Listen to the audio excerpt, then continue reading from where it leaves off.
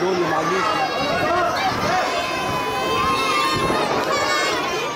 In addition to bombing and the difficult uh, conditions of life in the liberated areas, now the funders add another problems. After cutting the funding from the teachers, more than 900 teachers were affected by this and more than 15,000 students.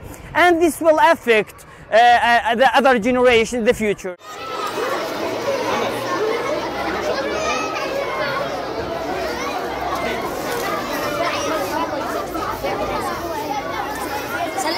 قطع رواتب أكثر من 800 مدرس. ماذا سوف يؤثر على العملية التعليمية في المناطق المحررة؟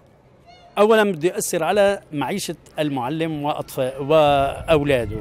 قطع رزق هذا المعلم. وثانيا إنه الأطفال يتأثرون بهذا يعني بكفينا إجرام الأسد و صواريخه وكل ما جرى سبع سنوات من هو الهدف الأخير إنه ما يعلم ويجهل هالأطفال. لكن نحن بإذن الله مصرين على متابعة المسيرة لأنه من البداية قطع لنا رواتبنا لكن إن شاء الله نحن مستمرين حتى الآخر حتى نعلم الأطفال. واقع التعليم بعيدا عن عن قطع الدعم ما واقع التعليم في المناطق المحررة؟ كيف تجد أنه مقارنة كونك معلم سابق كيف تجد المقارنة بين التعليم الحالي والتعليم ما قبل يعني الثورة؟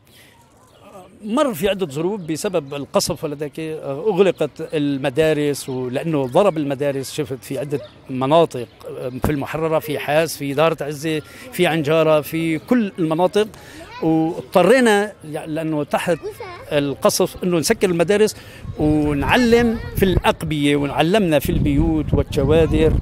والحمد لله استمر التعليم رغم إجرام الأسد وفتحنا شفت مدارس والحمد لله تطورت التعليم بسبب دعم الناس الطيبين الشرفاء لنا والشباب المعلمين أصروا وظلوا والحمد لله كادر تدريسي ممتاز يعني بتشوف هلا الأنسات الطلاب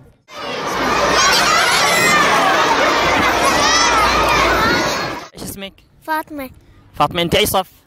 ثالث آه فاطمه انت بتحبي المدرسة؟ إيه تعلمي إيش بدك تصيري بالمستقبل؟ دكتورة ليش بدك تصيري دكتوره؟ سنة المرضى